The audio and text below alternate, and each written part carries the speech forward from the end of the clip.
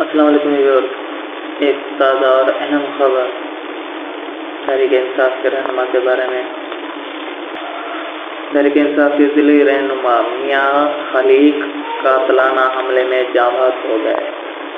تفصیلات کے مطابق سیالکوٹ کے علاقے رنگ پور میں دو روز قبل فائرنگ کے واقعے میں تحریک انصاف کے ضلعی رہنما شدید زخمی ہو گئے تھے۔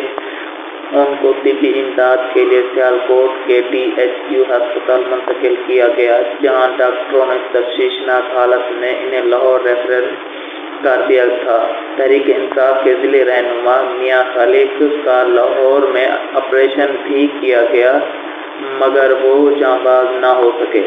واضح رہے کہ فائرنگ کے واقعے میں تحریک انصاف کے ضلع رہنما کو پانچ گولیاں لگیں۔ مسلم لیگ نون سے تعلق رکھنے والے شخص پر فائرنگ کا الزام عائد کیا گیا ہے۔ رنگ پورا تھانے میں مقدمہ درج کر کے کارروائی شروع کر دی گئی۔